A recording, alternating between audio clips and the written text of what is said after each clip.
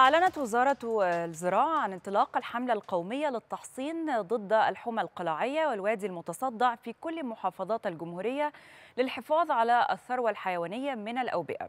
وفي التقرير اللي قدمه الدكتور عبد الحكيم محمود رئيس الهيئة العامة للخدمات البيطرية لوزير الزراعة السيد القصير أن خلال يومين من انطلاق الحملة تم تحصين أكثر من 385 ألف جرعة ل 196594 راس ماشية ضد مرض الحمى القلاعية.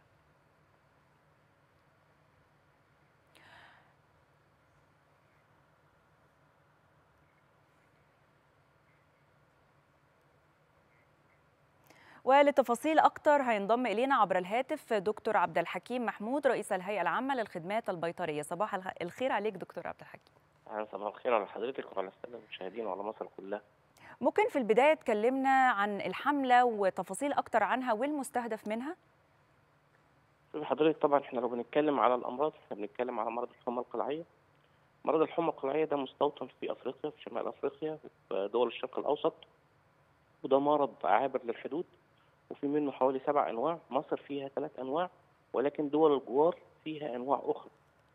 إحنا بنحصن الحيوانات علشان نحافظ عليها ونحافظ على مستوى الأجسام المناعية والمناعات اللي إحنا كوناها من خلال الحملات السابقة وما تنزلش. الحمد لله المرض سيطرة إحنا بنتكلم دلوقتي بقى لنا سنتين ثلاثة مسيطرين على مرض الحمى القلعية بكافة أنواعه وده جه من خلال الحملات التحصين المكثفة اللي إحنا بنعملها كل أربع شهور. طب بنعملها ليه كل أربع شهور؟ لأن اللقاحات بتاعت الحمى القلعية بتدي مناعات لمدة أربع شهور. فإحنا مش بنستنى لما المناعات اللي جوه الحيوان تنزل ولكن بندخل بجرعة تنشيطية علشان نفضل محافظين على المستويات المستويات العالية للحماية ضد هذا المرض.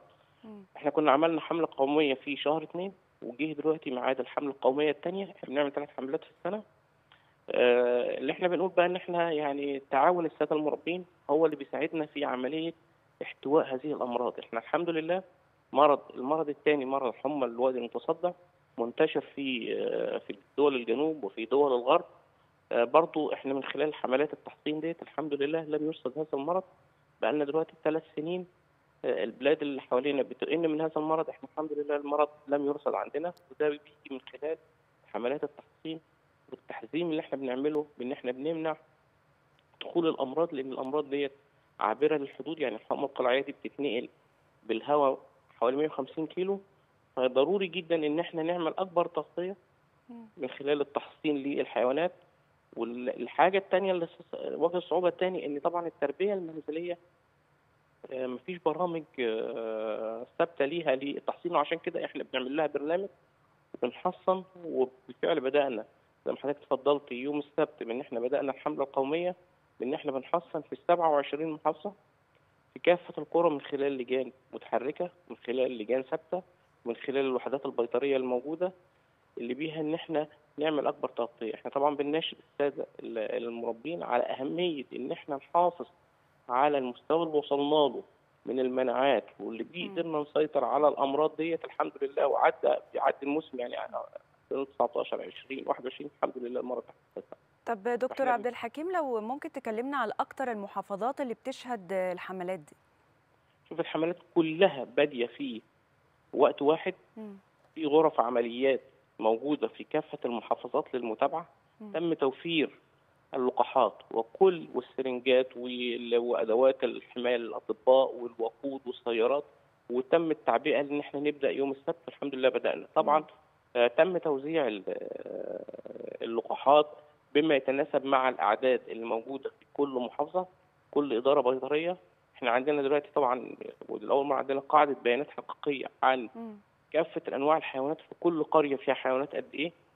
عندنا بيان الأنواع والأعمار و يعني إحنا لو بنتكلم على الأبقار إيه الإناث إيه الذكور إيه العجول المستوردة العجول الخليط العجول البلدية. أعمار هذه الحيوانات إحنا بالتالي عندنا وزعنا كافة مستلزمات التحصين طبقا للكثافات من تلك الحيوانات في المناطق المختلفة لل 27 محافظة. طيب دكتور عبد الحكيم حضرتك كنت اتكلمت إن الحمى الوادي المتصدع مش موجودة بمصر، طب لو اتكلمنا عن الحمى القلاعيه هل في أي محافظات سجلت أي إصابات فيها؟ هو الحمى القلعية طبعا أنا عايز أقول لحضرتك على حاجة إحنا السنة اللي فاتت في آه، في 2010 في في شهر أكتوبر 2020 كانت ظهرت عتره متحورة من العتره القديمة مم. ومن خلال المسوح والتقصي اللي إحنا التقصي النشط اللي إحنا بنعمله يعني إحنا السنة اللي فاتت آه، رحنا زرنا 4062 قرية عشان نشوف لو في أي نمسح عملية مسح لأي أمراض مم. وجدنا إن في بعض الحيو... في حيوانات في بورسعيد كان فيها آه، اصابه خدنا هذه ال- الإصابة. خدنا هذه ال- ال- المعزولات وتم الكشف عليها واكتشفنا انها دي عتره متحورة آه. وبالتالي عملنا لها لقاح مخصص ليها واستخدمناه في آه، الحملة القومية الأولى اللي تمت في 2021 والحمد لله إحنا سبقنا المرض. قبل انتشاره من خلال التحصين والسيطرة عليه بإن إحنا عملنا له لقاح مخصص له. فحتى السادة المربين كانوا يعني بيسألوا يعني إحنا ليه بنحصن بحقنتين؟ لا إحنا كنا بنحصن بحقنة فيها ثلاث أنواع اللي هم اللي إحنا معروفين في مصر مم. وحصلنا واحد لقاح احادي ضد العتره الجديدة المتحورة مم. اللي بيها إن إحنا آه، وبهذا يعني بهذا ال- الاستراتيجية قدرنا إن إحنا نسيطر على العتره أو إن إحنا نحمي الحيوانات قبل انتشار ال ال ال ال هذه المعزولة ودي الإجراءات الاستباقيه اللي بتاخدها بتتخذها وزارة الزراعة في حملات الأمراض. بتنزل في المزارع؟ طيب آه، ال- طبعا في حملات في إحنا بنحصن كافه الحيوانات وبنروح. مش بس التربية المنزلية وبنروح كمان المزارع مم. ومن خلال برضو إن إحنا برضو بنوفر لهذه المزارع كافة اللقاحات إحنا عندنا أرصدة من اللقاحات تقضينا لا يقل عن ست سبع شهور مم. آه، الهيئة العامة للخدمة الخدمات الوطنيه موفرة أنواع مختلفة من اللقاحات بجانب إن إحنا طبعا آه، عندنا الأرصدة الكافية إن إحنا بالنسبة للتعداد اللي عندنا إن إحنا نغطي. الحملة الوطنيه طيب الاستراتيجية المتبعة بشكل عام وبشكل دائم لحماية الثروة الحيوانية في مصر لو ممكن تكلمنا عنها أكتر. شوف حضرتك طبعا إحنا يعني إحنا دلوقتي في أمراض مستوطنة وفي أمراض وطنية. مم. كويس؟ وبنشوف تحليل المخاطر. طب إيه المناطق اللي ممكن يجي لي منها أمراض؟ مم. آه، فين ال- الأمراض الدول اللي حوالينا اللي بيها إن إحنا كمان بناخد إجراءات احترازية وإجراءات استباقية. يعني إحنا مثال لما ظهر المرض حمى الوادي المتصدع في السودان واتنقل إلى جيبوتي وطلع الشمال إلى ليبيا. آه، الترصد هذا والمتابعة من خلال وحدات ال epidemiology الموجوده إن إحنا بنتابع كافة الأمراض على المستوى الخريطة العالمية كلها إيه الأمراض ظهرت فين.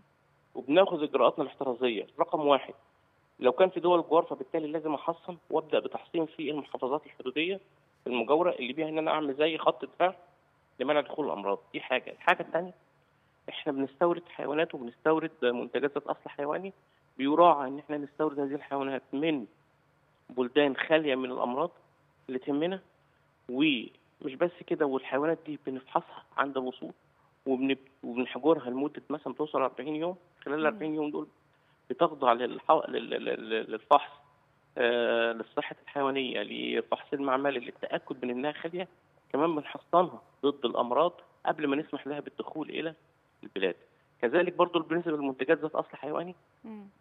بنراعي إن إحنا نستورد من من بلدان خالية من الأمراض وبرضه ما بنسمحش بدخول هذه المنتجات إلى داخل البلاد إلا بعد فحصها للأمراض الفيصلية طيب أخيرا دكتور عبد الحكيم لو ممكن تكلمنا عن بمناسبة قرب حلول عيد الأضحى يعني إيه الاستعدادات والإجراءات من وزارة الصرا- الزراعة ومن الهيئة المتبعة لضمان سير عملية الذبح وكل الأشياء المتعلقة بعيد الأضحى المبارك؟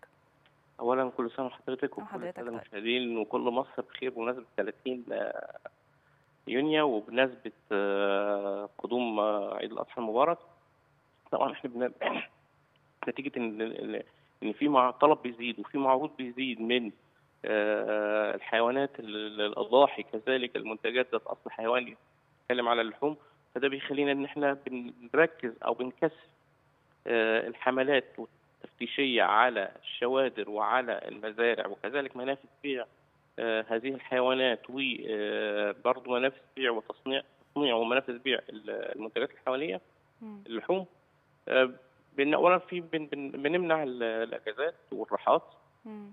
وبن آه، بنكثف الأعداد ال- الأطباء البيطريين بنوفر ال- الأختام والمواد الملونة للمستخدمة في المجازر كذلك أعمال الصيانة اللي بيها إن إحنا يعني آه، نفحص هذه الحيوانات ونفحص هذه المنتجات ده بيتم طبعا بياخد آه، يعني آه، من خلال برنامج يعني إحنا بنتبعه قبلها بشهر يعني إحنا دلوقتي. اوريدي بدأنا ال- ال- ال- الإدارات المختصة بالمجازر الصحة العامة والمجازر بدأت الاستعداد الجدي من خلال إنها بتوفر هذه ال- المواد وهذه ال- ال- ال- القوى البشرية وتغطية كافة المنا كافة المحافظات والقرى اللي بيها إن إحنا نحافظ على صحة الإنسان من خلال الرقابة على الحيوانات والمنتجات. طب في نصايح أنت ممكن تد... حضرتك ممكن تديها للمواطن للتمييز بين الأضحية المريضة من السليمة شوف طبعا هو أو اولا يعني إيه يجيب أو اولا بنشتري من مصدر موثوق يعني ما بجيبش مثلا من واحد من بائع ماشي. بجيب من مصدر ثابت مصدر معروف دي رقم واحد رقم اثنين طبعا الحيوان نفسه الحيوان اللي هو النشط الحيوان اللي هو رافع راسه عينيه بتبقى لامعه إن كان الصوف كان الخروف يبقى الصوف بتاعه مم. آه، آه، يعني سموه صحي ما هوش مثلا آه، آه، يعني عايز أقول إيه مثلا عارفة العلامات الصحية مثلا ما فيش عرج ما. فيش آه. شكله شكله شكله بيلمع وشكله. شكله جيد ال- الحيوان مقبل على الأكل وعلى الشرب. آه، دي كلها علامات طبعا آه، مهمة ما فيش إفرازات. آه، بيبص مثلا على منطقة اللي هي ما فيش اسهالات على الرجلين أو على اللي هي من تحت. آه، طبعا ما بيفحص بقى ما فيش هزال بيكون مثلا الحيوان مثلا مكان مكتنس باللحم. دي كلها يعني النقاط اللي إحنا بنقول لها بن- بننصح بيها الساده المشترين يعني. آه، طب الإجراءات الاحترازية اللي ممكن الوزارة تتبعها. بسبب فيروس كورونا كمان في إجراءات معينة الوزارة حطتها لكي تتفادى أو التزاحم حول لحوم الأضحية ومثل تلك الأشياء؟ طبعا دي اجراءات في كل مش بس في في وزارة الزراعة إنما المفروض إنها في كافة الحياة دلوقتي اللي عمليه التباعد ال- ال- الاجتماعي إن أنا لازم أتباعد عن الناس ارتداء ال- الكمامات وغسيل الأيدي وبصفة مستمرة. آه، طبعا آه، دي إجراءات كلها ضرورية مش بس عند إن أنا أروح أشتري أضاحي أو أشتري لحوم ولكن حتى التسوق وفي أي مكان شيء طبعا ضروري للحفاظ على آه، صحة الإنسان يعني. شكرا ليك شكرا جزيلا ليك دكتور عبد الحكيم محمود رئيس الهيئة العامة للخدمات البيطرية وصباح الخير عليك.